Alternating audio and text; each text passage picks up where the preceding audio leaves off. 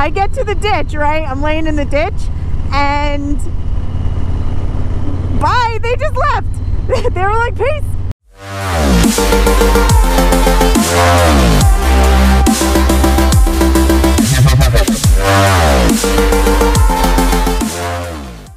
What's up, guys? So it's the end of November, and all of a sudden, it decided that it wanted to be 50 degrees today. So I'm taking full advantage of it.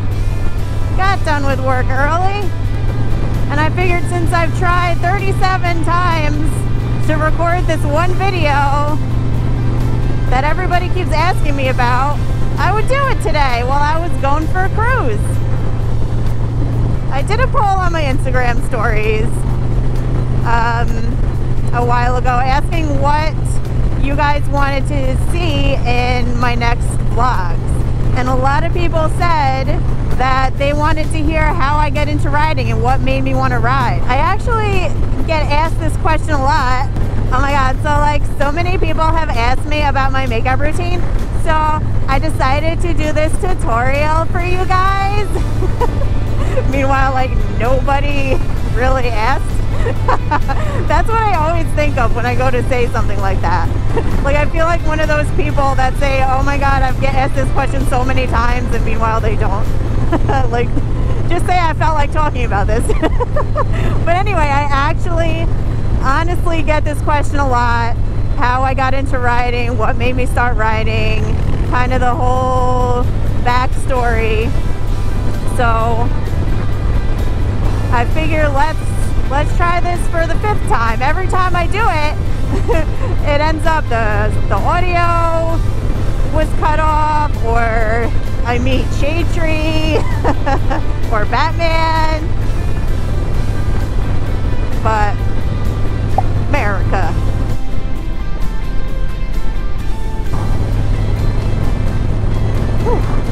But man, it's like I don't know, lower 50s today here. Which is crazy because it's November. It's the end of November. It's almost Thanksgiving. Woohoo! Man, it's windy. I am going to be trying the next size up windshield pretty soon here, so that's going to help get rid of this wind noise as well. I've been riding, well, let me start with this. I've had my license for 10 years. Woohoo! Woohoo! Oh my gosh! The wind, man! Holy crap! Oh. Jeez.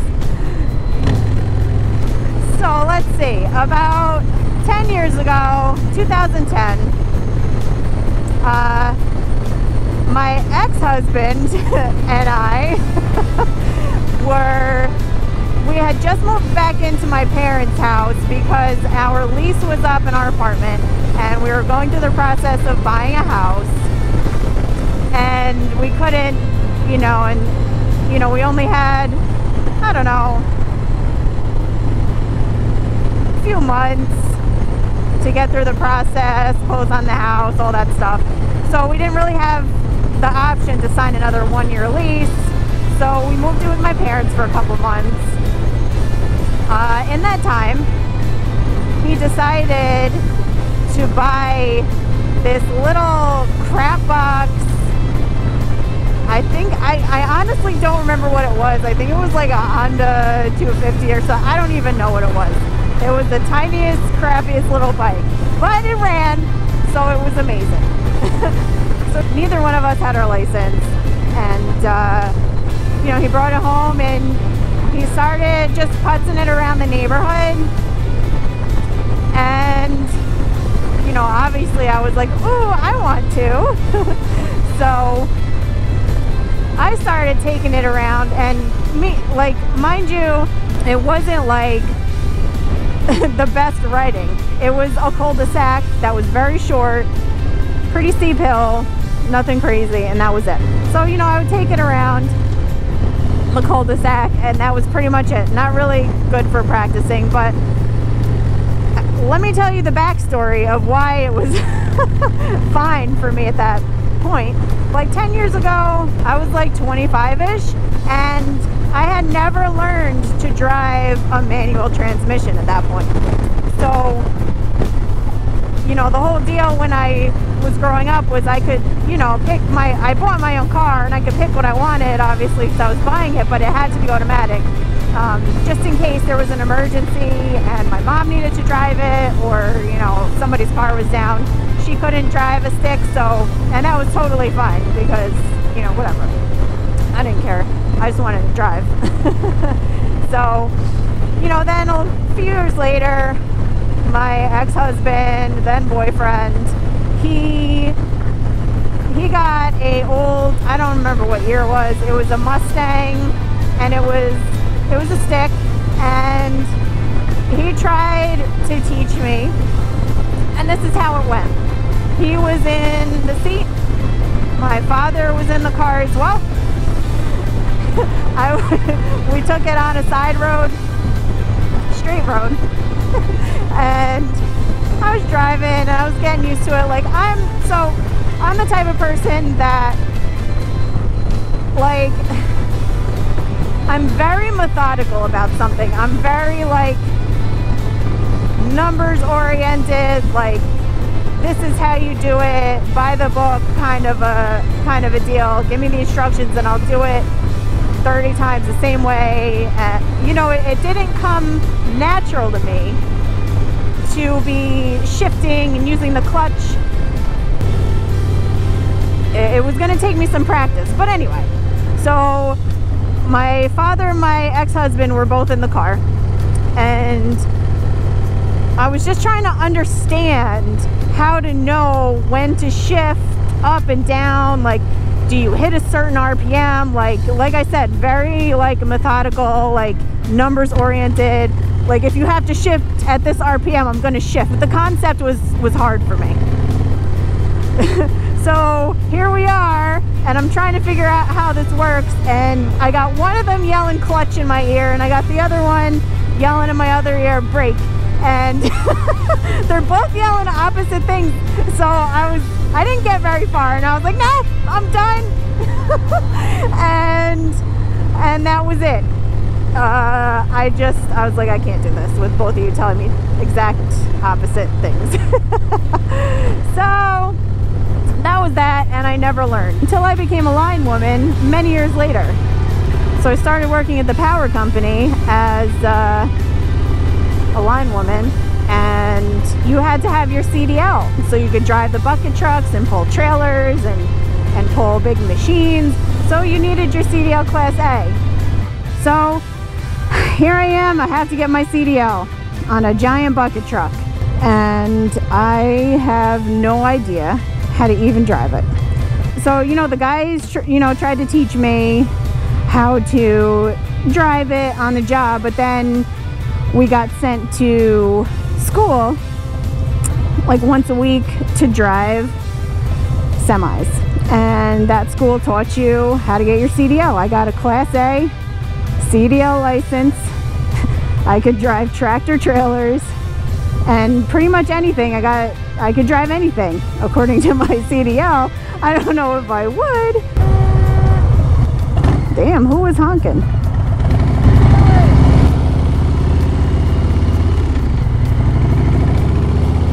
Who the hell? I went from not being able to drive a manual transmission car to driving a tractor trailer. so anyway, back to my story. So it was tough for me to figure it out. Now, my parents' driveway was a 90 degree hill, uphill both ways.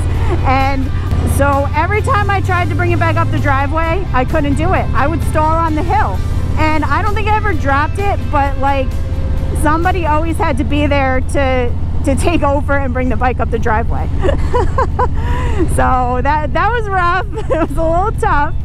Um,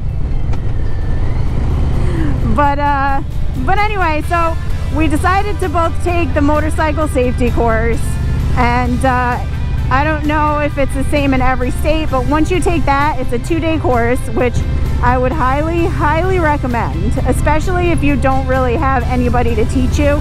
That's going to teach you like the right way to ride, the basic, like, you know, it, it gives you a basic understanding of what to do. And you obviously have to just keep practicing your skills and and work on them. It's not like you're a professional rider uh, by the end of the class. But uh, you take it, two-day class, great class, and then you, if you pass, you get a little certificate and you take it to the DMV. And uh, oh God, something smells so good. And you have your license. You don't have to take the test, the road test. So that was a big plus for me. I get very, like I get test anxiety really, really bad. And I didn't even want to think about taking a test. So to be able to do that was mint. So we took the class. The instructor kept asking me like, how long have you been riding? And I'm like, uh, never. and he didn't believe me. So like whenever I start something, I will go balls to the wall. Like I'll have no fear. And I don't know, like a little fear is always healthy. I feel like, like when I became a line woman and I started, you know, you're climbing poles and you just have, I know I always go back to this for an example, but it's what I know. We're gonna get a spot in the sun here.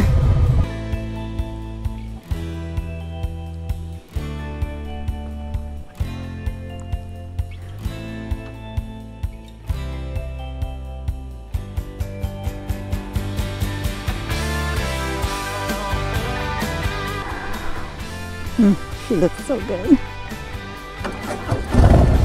So I think some level of fear is healthy because it just keeps you a little grounded, you know? Or respect even. I don't know if so much fear, but respect. You know, I was working on high voltage power lines and you know, you can't so much be scared, but you have to have some respect for what you're doing. So I was having a blast, man. And, you know, I was bobbing and weaving in and out of cones. And I was like, yeah, like I'm doing so good. So, pass the test. Coincidentally, we passed by a Kawasaki dealer to and from the safety course every day for the weekend. Now I knew I wanted a bike for two very strong reasons. One, which should have been a clear foreshadowing of the future for me. uh, number one reason I wanted my own bike, I did not trust my ex-husband whatsoever. I did not want to get on the back of a bike with him. Zero, zero, zero percent wanted to get on the back of a bike with him. No thank you. and two, hell yeah, I wanted my own bike. so I went into the dealer, and I fell in love with a Ninja 500R. I it was a 2009. I believe it was the last year that they made the 500s, um, at least if I remember correctly. You know, I couldn't bring it home. I didn't even have my license. so I went to the DMV, got my license, and went back to pick up my bike. Got myself a new helmet, new jacket, shiny new gloves. I was the man. I rode this thing home. It was like uh, maybe like an hour ride home from there. And meanwhile, I had never, like the only practice I had was on that, you know, around the block at my parents' house. And and at the course for not even two days because half of it was a written portion. So, dude, I had no business bringing that thing home. I mean, you got to do what you got to do and you're going to have to learn eventually, but, um, you know, I brought it on some busy ass roads and highways and over the bridge and over the river and through the woods. to grandma's house we go. Man, this cold air just destroyed my voice feel like I just went through puberty. Anywho, so five minutes before I'm home, I'm on the highway. Getting a lot, you know, traffic's building up. And, you know, I didn't live here. I wasn't in the boonies back then. I was in civilization. So traffic was building up and I'm like, you know what? Let me just get off this main road and, you know, take a side road home. I could have picked any side road to get home. They all connected. I chose the sharpest switchback turn you could ever take in your entire life. so put on my blinker, go to turn, have a little, oh, this is sharper than I thought. What am I doing? I don't know what the hell I'm doing. Uh, gravel, down I go. Slid straight down the road, across the other lane, into the ditch. Now, one thing I'll never forget was the car that I slid in front of. It was a white Mercedes. Thank God they stopped. I can't hate on them. They stopped and didn't run me over. Thank you. Uh, but I get to the ditch, right? I'm laying in the ditch and bye, they just left. they were like, peace. They, they didn't even, like, okay, not everybody's gonna stop and help somebody. But like, I just slid in a ditch in front of you and you just keep driving? Like, okay, well, thank you for not running me over, I guess. I was like, what? thank God my ex-husband uh, was behind me and he was able to pick the bike up for me out of the ditch because I had no clue. So, um, and I didn't like, I was very lucky. I can laugh about it, you know, because I was stupid and I'll admit it. Um, I didn't even break a nail. there are a couple scratches on like the handlebars and the exhaust on the Ninja, but other than that, it wasn't bad at all. Her ego, I never once got to ride with my ex. Like, at that point, he had ripped the bike apart because there was so much crap wrong with it and he never got it back together. It was just in shambles apart in the garage. And I don't know if he ever got it. I think he sold it to somebody as like a parts bike. I don't even remember. I try to forget that part of my life actually. So I kind of like, I didn't have anybody else to ride with. And then after that, like we split and you know, I would ride it back and forth to work a lot, but I got sent all kinds of places for work. I was never in one spot. A lot of times it was like an hour and a half away on the highway and I just wasn't into it. I didn't really get a chance to hone in my skills and practice more and get comfortable. So yeah, I met Anthony and I still had my bike and I was like, yeah, I got a motorcycle and trying to act all cool, but like I barely rode it. Um, you know, so I just rode on the back of his bikes and we had a great time and it was fun and we took a lot of trips. We went to all the bike weeks, Florida. Finally got to the point it was like, you know what? I'm not riding this thing. It's just sitting here. Let me just sell it. I sold it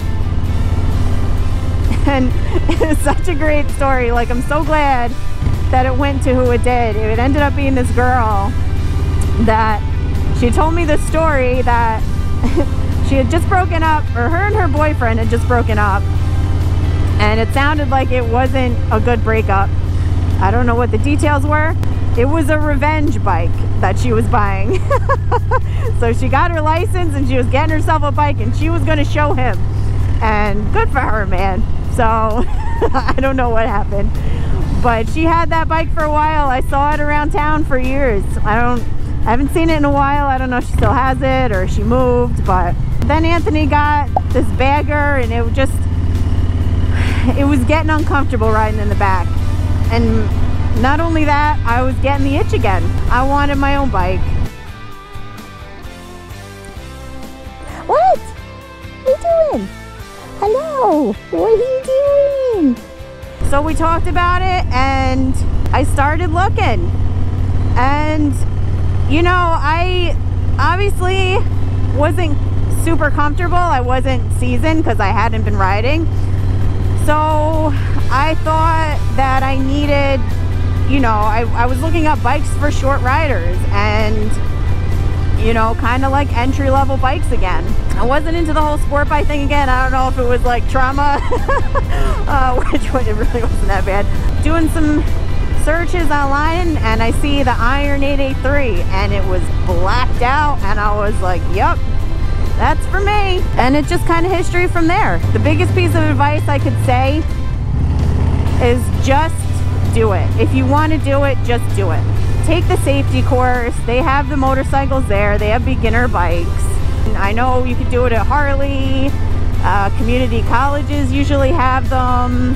Just look them up. Uh, and then just try it and see, get the feel for it. You drive around in a parking lot. And once you get your license, it's just like anything else. You need to practice. If you just putz around here and there once in a great while, there's those people out there that are good at everything they do. but you just got to practice to get comfortable. It wasn't the fact that I was riding again. Then it was the whole situation of being out by myself. Like I always had that safety net of, you know, riding with Anthony in case anything happened, he would be there. And it took me a while to even go out by myself. And then once I went out by myself, you know, and I have to say, watching these moto vloggers go out and ride themselves and talk about their experiences 100% helped me. So I only hope that I can do the same for somebody because I said, you know what, what the hell am I doing being so scared for?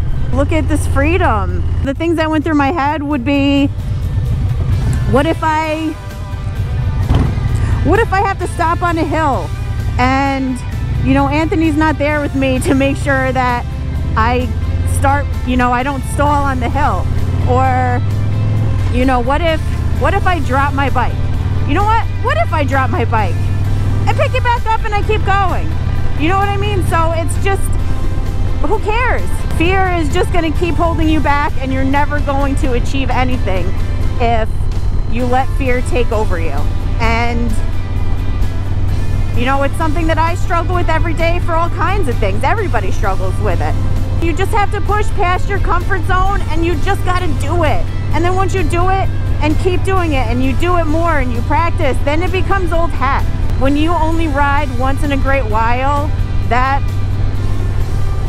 that uncomfortable feeling and that unease and that, you know, is this turn going to be too tight? Or those those feelings that you get one, you know, just there's a million things that run through your head and it's one it's nerve wracking to ride like that all the time if you never get comfortable. You want to enjoy riding. You don't want to be scared every time you go for a ride. You want to enjoy it. So just do it. Practice, get out there and just do it. Just do it!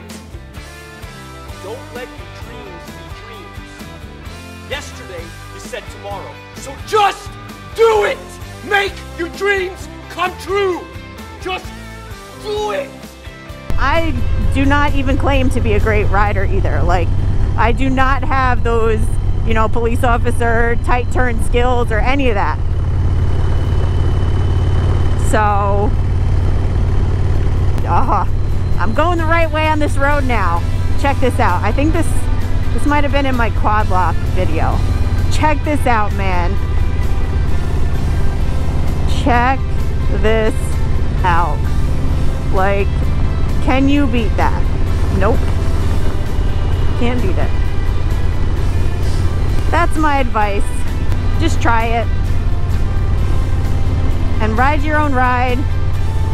You know, that's another thing too that I think a lot of people get stuck on is trying to keep up with people that either aren't at their skill level or just aren't at their comfort level and people get into trouble trying to keep up with others. If it has to be you ride up and down the block, you know, every day, or, you know, and you just go a driveway further every day, you know, it doesn't matter. You're still making progress. So there's my story. I feel like I should have made something up like, yeah, I was riding and this big grizzly bear came out and attacked me and then a lion came and ate my motorcycle And then a giant bald eagle came and plucked me up and saved me and dropped me back. But no,